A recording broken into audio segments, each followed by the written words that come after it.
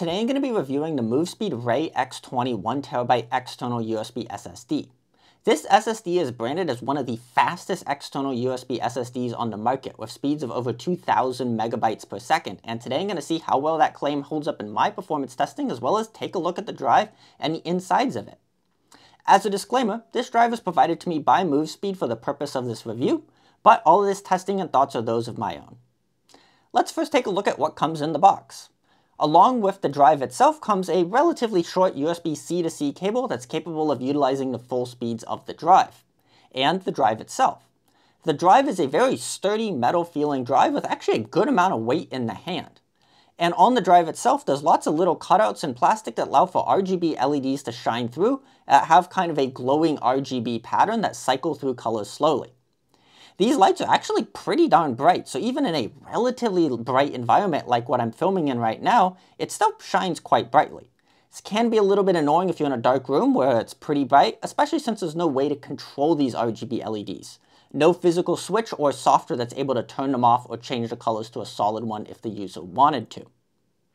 If you want to take a look at the inside of the drive, there's four hex heads on the bottom of the drive that can be removed, and then the bottom panel pops right out. Taking a look at the inside of the drive, you can see the little PCB that contains all of the SSD components. This does not appear to have any thermal pad or connection to the outside of the drive casing at all, but in my testing I didn't see any thermal throttling or anything that would indicate the drive was overheating, so it seems like that wasn't a concern here. On this board contains two little NAND packages that contain all of the data itself. I'm guessing these are 512GB TLC NAND chips, along with a Silicon Motion SM2320G controller.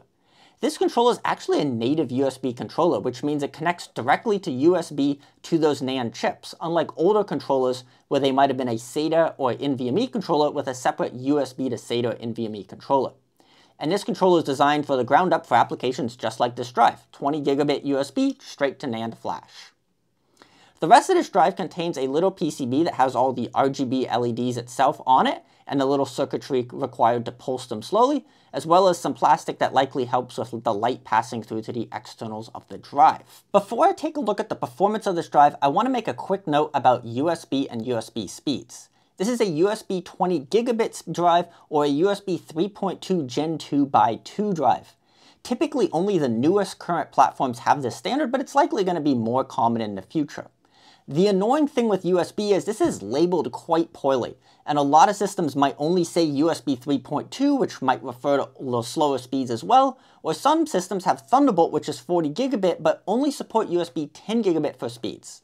So if you're not getting the full speeds and want to make sure that your system is capable of getting the full speeds, double check that your system actually says USB 20 gigabit or 3.2 Gen 2. Otherwise, you're going to see slower speeds. Now let's get into the performance testing of this drive itself. I started with running a Crystal DiskMark benchmark. That's why it's easy to compare to another drive you might have and just compare to other drives on the market. And just for reference, here's a comparison of Crystal DiskMark on this drive in a 10 gigabit system and a 5 gigabit system so you can see how it's affected. Primarily the sequential speeds are going to fall, but the random speeds stay relatively similar on these slower USB ports on the system. Now let's take a look at a little bit more of my in-depth testing using FIO and Linux to run artificial benchmark, as this gives me a better feel of how this drive will perform in specific workloads to see what it might struggle in or do well in. The first thing I did was sequential read and write workloads. Reads-wise, this drive did very well, going over 2 gigabytes per second for the full duration of the drive, even if it's completely filled with data, with no slowdowns I could find. Writes-wise, this drive definitely has an SLC cache that once filled will drop in speed to the slower speed of the drive. If the drive is empty, the SLC cache is about 340 gigabytes. That's a bit under a third of the total drive capacity, making me think it uses TLC NAND internally. But as the drive fills up, this SLC buffer will get smaller. So when the drive is fully filled, the buffer is only about 25 gigs of writing at full speed before the drive speed drops. And when filling the drive with files from completely empty, I saw an average speed of 360 megabytes per second. And while these write speeds are far from the highest possible speeds on these drives, they're still more than good enough for using it for something like a camera recording drive, where it's capable of writing ProRes 422HQ 60 FPS in UHD for the whole duration of the drive without running into any write speed limitations. Now let's take a look at random I.O. in this drive. And I'm guessing this drive's random I.O. is limited by the nature of being a USB drive and it being a higher overhead standard with lower IOPS compared to something like an internal NVMe drive.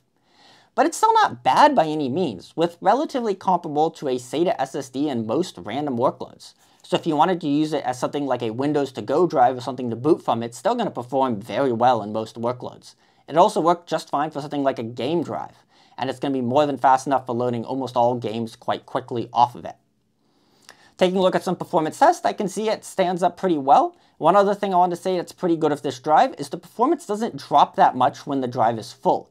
A lot of drives will see a relatively significant performance drop-off when the drive is full versus empty, and I didn't see that much of it here on this drive. Overall, this drive's random performance is pretty decent, and it seems to be about as good as you can get out of USB.